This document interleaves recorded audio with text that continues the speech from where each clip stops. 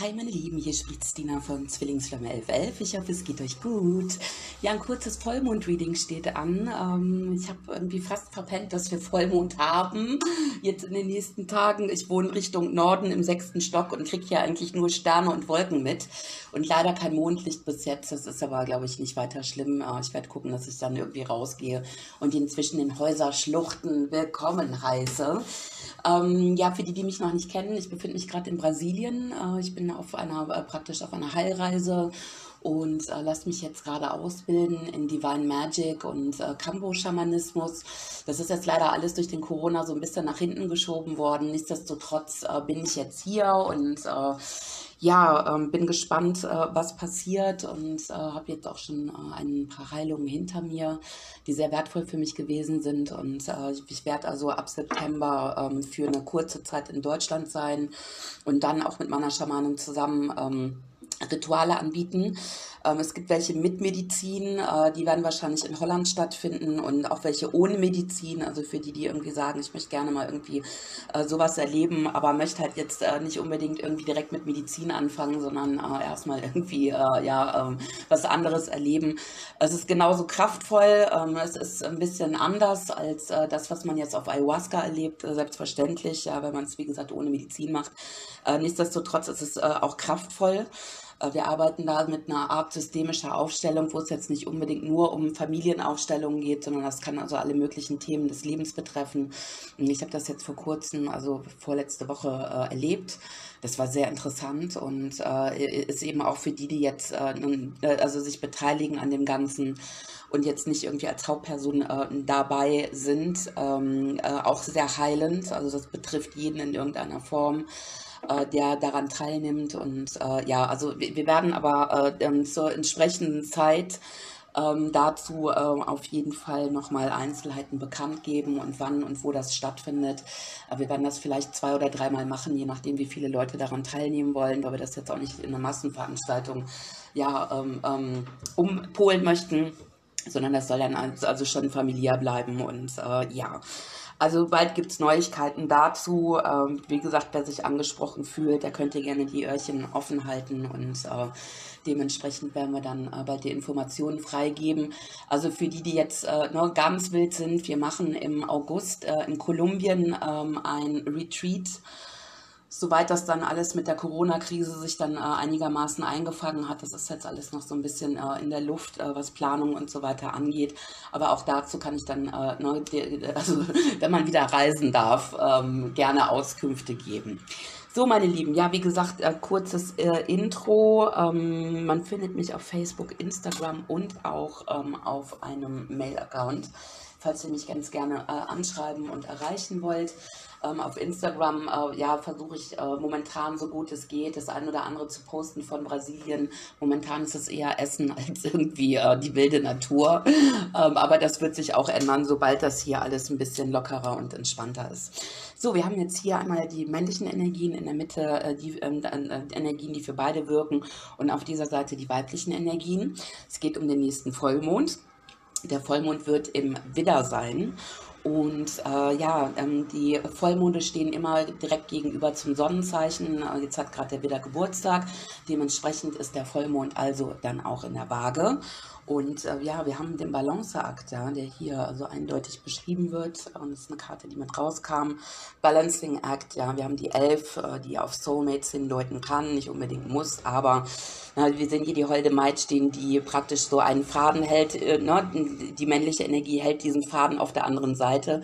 Und jetzt praktisch so ein Ring ja, so ein kleines Schiff, wo Herzchen fliegen. Und äh, es ist jetzt gerade einfach ein Balanceakt, ja, die männlichen und weiblichen Anteile äh, eben so weit auszubalancieren, dass das Ganze eben auch äh, ja, ähm, sich manifestieren kann auf der 3D-Ebene.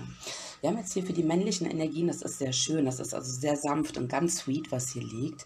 Äh, einmal die Karte The Initiation uh, and the uh, Count Saint-Germain. Saint-Germain ist einer der aufsteigenden Meister. Hier sehen wir ihn uh, ja in Person stehen, praktisch in, in diesem Tempel. Ähm, die männlichen Energien äh, kommen eben, um sich den Segen abzuholen, um etwas zu lernen, sich äh, ja über diese 5D-Ebene kurz zu schließen, äh, dort Informationen abzugreifen. Das ist also eine, recht, recht spirituell, äh, was hier liegt. Also wir sehen hier, ne, es sind jetzt Frauen, die hier stehen, aber letzten Endes ist es auch egal, ob das Frauen oder Männer sind. Ähm, Saint-Germain ist ein Spirit, der hier eben mit einwirkt, einer der aufsteigenden Meister. Ähm, kurz dazu, die aufsteigenden Meister äh, sind äh, Wesen bzw. Seelen, die alle auf dieser Erde gewandelt äh, sind als Menschen. Ähm, ich habe hier auch meine Kuan Yin stehen, die hier schön vor sich hin leuchtet. Ähm, jeder, jeder aussteigende Meister hat eine andere Geschichte und ähm, die haben es dann so weit gebracht, dass sie dann eben jetzt für uns praktisch in der Regenbogenenergie sitzen, um uns äh, ja anzuleiten, um uns zu lehren. Sie, die stehen uns sehr nah, die sind also sofort da, wenn wir sie rufen und äh, ja, jeder hat natürlich auch andere Aufgaben. Hier geht es, wie gesagt, um Erleuchtung, etwas zu verstehen. Äh, wir haben hier das Kronenchakra, was leuchtet, ja, was mit, mit der Farbe Lila verbunden ist. Könnte also durchaus sein, dass die ein oder anderen lilane Farben sehen, ähm, ja, oder eben direkt äh, mit Saint-Germain, ähm, ja, kommunizieren. Ja, das, wie gesagt, jetzt auch direkt am Vollmond, dass da eben Weisheiten kommen, wie man sich selber und eben auch diese ähm, ähm Beziehung, diese Liebe ähm, mehr in die Balance reinbringt. Wir haben dazu ähm, die Two of Chalicles, also die zwei der Kelche, die finde ich total schön. Die Karte ist auch eine sehr schöne Darstellung. Ja, also beide schwören sich Liebe und halten sich fest und äh, sehen sich auch in die Augen. Und das ist eine, eine, Karte, wo beide also equal sind, ja, beide auf einer Stufe stehen. Da ist jetzt nicht einer am Boden liegend und der andere irgendwie, äh, ne? Ähm, ja, in, in, einer, in einer besseren Position, sondern das ist hier tatsächlich etwas, was, oh, guck mal, wie schön das jetzt hier mit der Lampe leuchtet. Ähm, das ist jetzt tatsächlich etwas, ähm, ja, was, was ähm, gegenseitige Liebe ausdrückt ja, beide wollen sich näher kommen, äh, beide wollen vielleicht auch einen Zyklus abschließen, der hier vielleicht ein bisschen länger auf Eis gelegen hat und äh, jeder in seine Selbsterkenntnis äh, ähm, reinkommen musste. Und das ist eine, eine sehr starke Sehnsucht von den äh, männlichen Energien, jetzt hier in diese zwei der Kelche einzutreten, die eben, ne, also eine, eine Karte ist, die mit Liebe zu tun hat. Wir haben noch eine Karte, die hier mit in Liebe schwingt. Und zwar haben wir hier ähm, Konovom. Ähm, auch mit einer 11 übrigens, ja, wie diese Karte der Balance. Was haben wir denn hier für eine Zahl? 14, okay. Ähm, ja, Konovom ähm, ist ein äh, Gott, der aus äh, dem Afrikanischen kommt. Ja, wir sehen ihn hier mit, ähm, ja, das ist, glaube ich, ein kleiner Falke. Vielleicht, ja, ich glaube eher ein Falke als ein, ein äh, ein Adler und hat ne, den Hasen gefangen und wird hier als Gott der Liebe dargestellt. Ja, also auch dieser Spirit wirkt mit ein, dieser Spirit sorgt dafür, dass, dass die Energien bei den männlichen äh, sehr sanft werden und ähm, ja, man praktisch eben in diese Liebesenergie eintreten kann, was vielleicht nicht unbedingt einfach in der letzten Zeit gewesen ist, ja, weil viele auch durch Selbstzweifel durchgegangen sind. Viele mussten sich mit sich selbst auseinandersetzen, natürlich auch mit dem Thema der Selbstliebe. Manchmal tut man Dinge, die ähm, Bestätigung von außen einholen, in welcher Form auch immer das stattfindet, um äh, das Ego in irgendeiner Form zu befriedigen. Ja, und ähm, ja, wie gesagt, das Thema Selbstliebe ist ganz groß hier, aber wie gesagt, auch dieser Wunsch nach dieser Vereinigung. Und jetzt ne, wirkt hier, wie gesagt, dieser Gott der Liebe auf die männlichen Energien ein, äh, die hier Entscheidungen treffen sollen. Ja, Three of Wands, also wir sehen hier jemand am Strand stehen, der praktisch Ausschau hält nach dem Schiff, was nach Hause kommen soll, wo, wo die weibliche Flamme drauf ist. Ja, noch ist es vielleicht nicht zu sehen. Aber ähm, das ist auch etwas, äh, ja, man, man schaut in die Ewigkeit. Ja, und wartet eben darauf, dass Zeichen kommen. Hier haben wir Vögel, ja, die hier oben fliegen. Das sind immer die ähm, Botschaften, die aus der geistigen Welt kommen. Wird mit den Vögeln zusammen verbunden. Und Three, Three of Wands ist eine noch abwartende Energie. Ja, aber ihr, seht, der Himmel ist frei, hier kommt die Sonne durch und äh, ne, das ist jetzt keine stürmische äh, Situation, sondern eher etwas, was sehr friedlich vonstatten geht. Also was ich ganz toll finde, weil das zeigt eben, dass die, auch, ne, die männlichen Energien sich auch in den Ausgleich begeben und hier praktisch dieses Knighthood annehmen.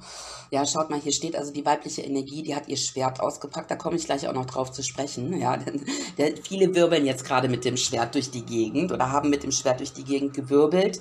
Das hat Verletzungen ausgelöst. Ja, und vielleicht gibt es noch die einen oder anderen, die hier noch so ein bisschen äh, drin sind. Aber hier kommt eine ganz große Heilung bei den männlichen Energien.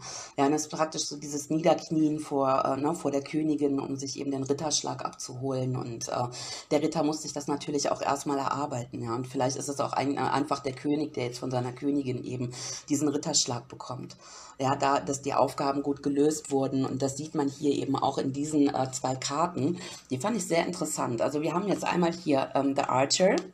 Das ist praktisch der, die Karte des Wagens. Ja, also er hat seinen Pfeil äh, ne, den, äh, genommen und äh, praktisch ist hier äh, ne, vom Gott der Liebe. Also wir, wir können das auch mit Amor gleichsetzen. Also Amor ist auch ein, äh, ein, ein, ein kleiner Gott, der eben mit seinem Pfeil und mit seinem Bogen unterwegs ist und den Pfeil der Liebe abschießt, ja. Und ähm, hier ist es praktisch so, dass die männliche Energie äh, dort reingeht, um den Pfeil der Liebe abzuschießen. Es muss aber noch ein bisschen geübt werden, okay?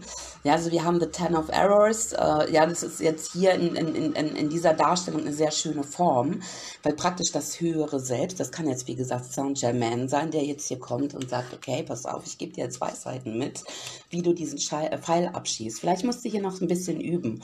Ja, ihr seht eben, dass das hier praktisch so, vielleicht ist das innere Kind, ja, vielleicht äh, ne, sind es auch äh, sehr jugendliche Energien, die hier, hier sehr frisch eben äh, rüberkommen, um eben diesen Pfeil abzuschießen. Und hier haben wir dann schon äh, ne, die, die etwas erwachsenere Form, äh, weil man geübt hat.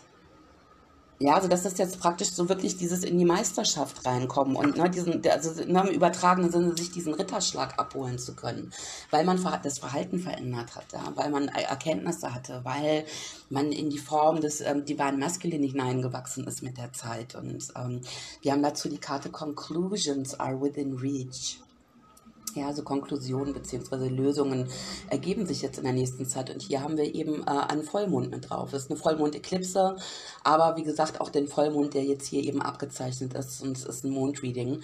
Das heißt, es äh, ist jetzt für die einen oder anderen männlichen Energien tatsächlich eine, äh, ein Abschluss von einer Phase, wo etwas gelernt werden sollte. Ja, also vom, vom, vom ähm, ja, Anfänger zum Schützenkönig zu werden, im übertragenen Sinne, okay, ja, und äh, hier, wie gesagt, eben auch den Pfeil so abschießen zu können, dass der nicht daneben geht. Das finde ich sehr schön, also dass das jetzt praktisch hier so eine Art Ausbildung, die eben, äh, wie gesagt, abgeschlossen werden kann, ein Zyklus, der abgeschlossen werden kann. Wir haben jetzt hier bei den weiblichen Energien, ähm, ja, ähm, einmal die Karte Diversity, ja, und auch den Konflikt. Vielleicht gab es in der letzten Zeit ja äh, äh, Dinge, die upside down waren. Guck mal, hier steht die weibliche Energie mit praktisch mit einer Schriftrolle. Vielleicht guckt man sich nochmal irgendwie an, was in der Vergangenheit gelaufen ist, vielleicht auch sich selber. Vielleicht ist man auch so ein bisschen hin und her gerissen. Also die Fünfer zeigen immer an, dass es noch Aufgaben zu erledigen gibt, ja, und vielleicht auch so ein bisschen Selbstreflexion. Wir haben hier Rosen, die blühen. Ja, trotzdem ist es aber auch etwas, was studiert werden soll. Also man soll nochmal genau hingucken als weibliche Energie vielleicht auch hier nochmal diesen Konflikt in irgendeiner Form ähm, ja beleuchten. Also ihr seht hier irgendwie so diese tanzende Feuergöttin. Ich weiß nicht genau, ob sie hier, was sie hier in der Hand hat, ob das ein Schwert ist. Also irgendwas hat sie hier in der Hand, aber man kann es nicht wirklich erkennen. Ja, es ist auf jeden Fall so ein bisschen zum Kampf erhoben. Okay, und äh, wir haben äh, auch die, äh, äh ähm, ja, die Königin der Schwerter. Also grundsätzlich ist die Königin der Schwerter jetzt nicht unbedingt eine schlechte Karte. Es ist aber so, dass äh, viele weibliche Energien in, in Destruction unterwegs gewesen sind, also in der negativen Seite und angefangen haben zu zerstören, das Schwert ausgepackt haben, vielleicht sehr ungerecht gewesen sind, sich selber gegenüber gewesen, sich selber auch der männlichen Energie gegenüber gewesen sind. Also diese Karte kommt öfters in verschiedenen Formen ähm, ist es grundsätzlich äh, ja eine, eine, eine Energie, die sehr intelligent ist, sehr logisch ist, vom Kopf ausgeht, weniger mit dem Herzen verbunden ist. Ja, vielleicht guck mal hier unten, das sehe ich jetzt gerade. Wir haben hier so ein äh, Elementar, so ein Luftelementar. Ja, also jedes ähm, Jedes äh, Element hat verschiedene Elementare, also Feuer, Erde, Wasser und Luft. Und hier ist es, wie gesagt, das Luftelementar, was kommt und äh, praktisch äh, ne, hier etwas niederschreibt. Hier hatten wir ja auch Schriftrolle. Ja, das ist also sehr, wie gesagt, jetzt äh, ne, im intellektuellen Bereich. Und hier geht es vielleicht darum, das wirklich jetzt mal in den Ausgleich zu bringen. Also Leidenschaft und Verstand in den Ausgleich zu bringen. Ja, wir haben The Page of Wands. Das kann mit ein bisschen Ungeduld zu tun haben, ja, dass hier eine Bewegung reinkommen soll. Es hat aber auch mit der eigenen Bewegung zu tun. Ja, wie bewege ich mich? Wie verhalte ich mich, äh, ähm, ja, meiner, meiner männlichen Energie gegenüber? Ja, seid ihr vielleicht ein bisschen zu streng streng gewesen in der letzten Zeit. Ein wenig zu harsch gewesen. Ja, das ist das, was ich hier wahrnehme. Ein wenig zu logisch gewesen. Um, und äh, ich, ich meine, ich weiß, äh, dass, dass man immer versucht, das irgendwie logisch zu erklären. Aber Liebe kann man nicht logisch erklären. Liebe ist Liebe, das ist ein Gefühl. Und deswegen wird euch gesagt, kommt bitte raus aus dem Kopf. Ja, und versucht hier, wie gesagt, in diese Art Ausgleich zu gehen. Ja, hier mit diesem Feuer, dass das eben äh, ne, lodern kann, ohne dass man sich verbrennt. Ja, und ohne dass eine Flamme jetzt höher ist als die andere. Hier haben wir auch noch mal so ein kleines Element Elementar, was hier als, äh, als Salamander mit reinkommt. Ja. Ihr könnt hier mit der Göttin Isis arbeiten. Isis ist mega cool. Ja, also the Godmother of Magic, sagt man zu ihr. Sie ist diejenige, die ihren äh, Mann Osiris aus dem Totenreich zurückgeholt hat. Der wurde also in, in tausend Teile zerschnitten äh, von, ich glaube, von Seth und äh, überall auf der Welt verteilt. Und sie war halt in der Lage, äh, jedes Teil ähm, ja, einzusammeln und ihren Mann wieder zum Leben zu erwecken.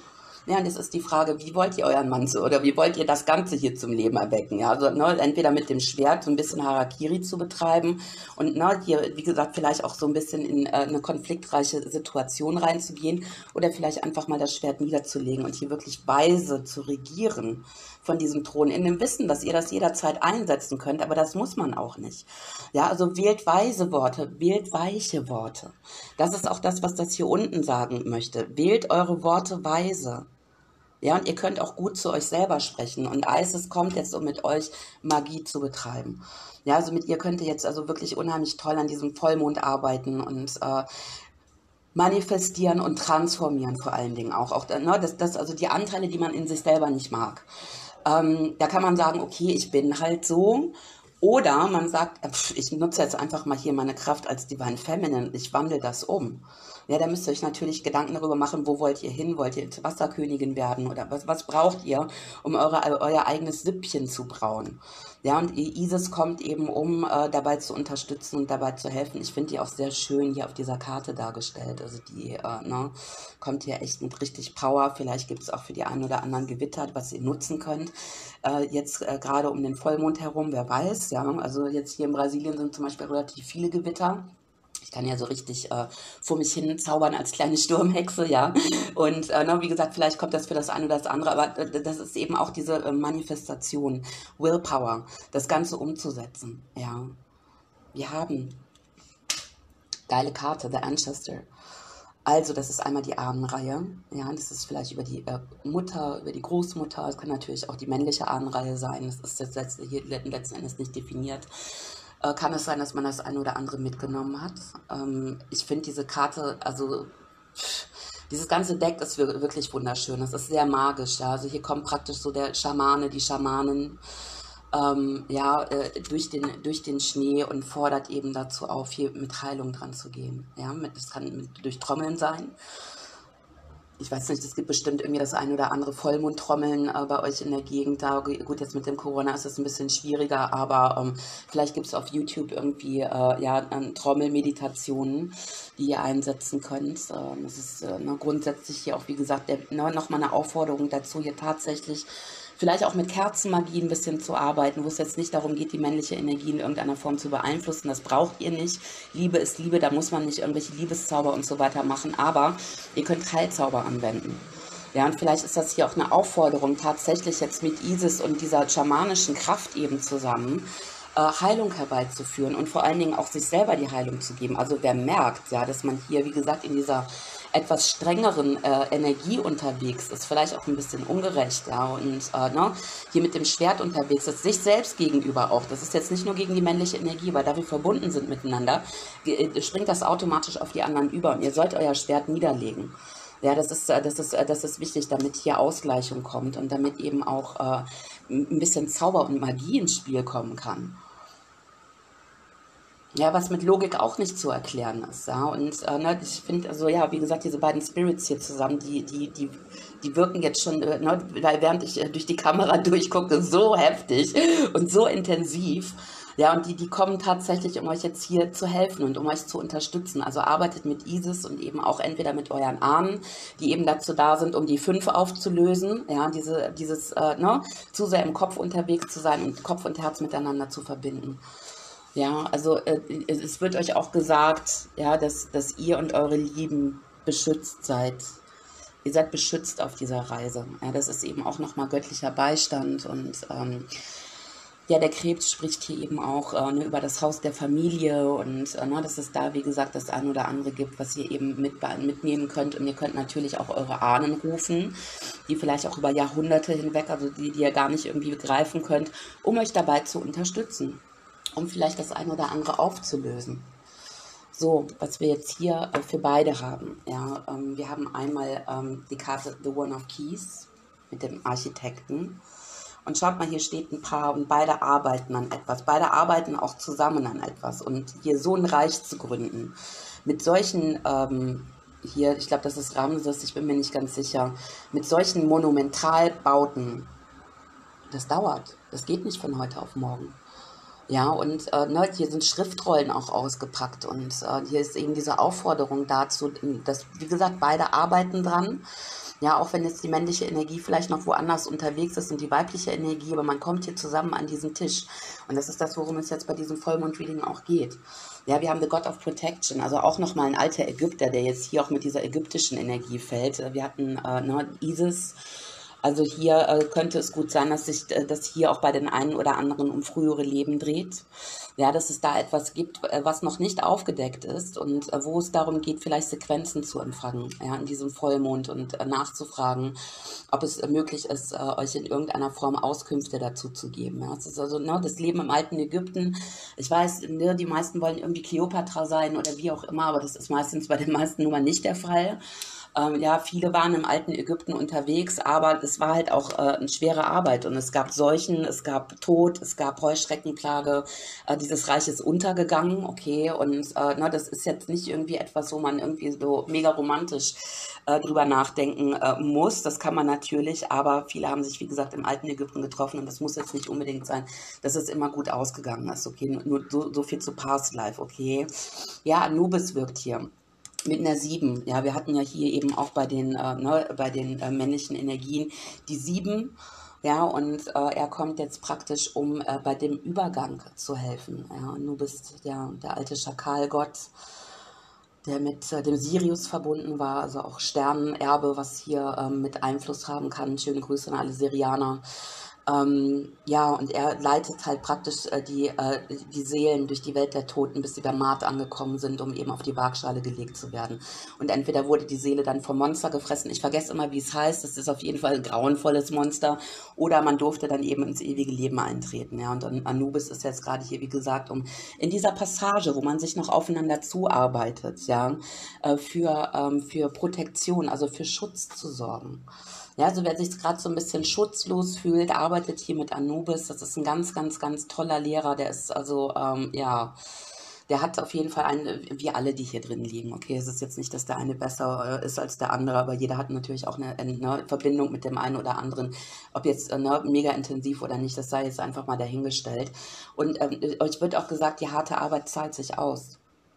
Also auch dieses Arbeiten an sich selber, auch wenn man jetzt vielleicht noch nicht in der Union ist, ja. Aber ne, die männlichen Energien haben wir gesehen, die sind hier, ja, die werden jetzt gerade halt, wie gesagt, vom, vom, vom Adepten ja in die nächste Stufe eingeleitet, dass sie dann ta tatsächlich dann hier eben auch äh, ne, den Fall so abschießen können, ohne zu verletzen.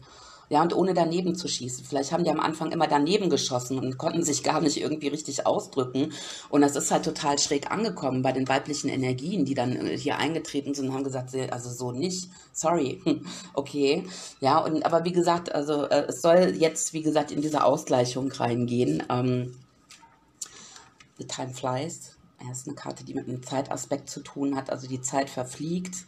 Ja, ich denke mal, dass jetzt, äh, wie gesagt, die einen oder anderen eben ähm, ja dann vielleicht doch äh, ein bisschen länger irgendwie voneinander getrennt waren, als es eigentlich sein sollte oder als es eigentlich geplant war, äh, wenn man überhaupt von Planung sprechen kann in diesem ganzen Prozess. Und äh, wie gesagt, wir haben ja hier gesehen, dass ein Zyklus zu Ende geht. Okay, auch hier, ne, die Uhr tick-tack einmal rum, dann ist auch dieser Zyklus von diesen zwölf Stunden oder von den 24 Stunden, wie auch immer, beendet.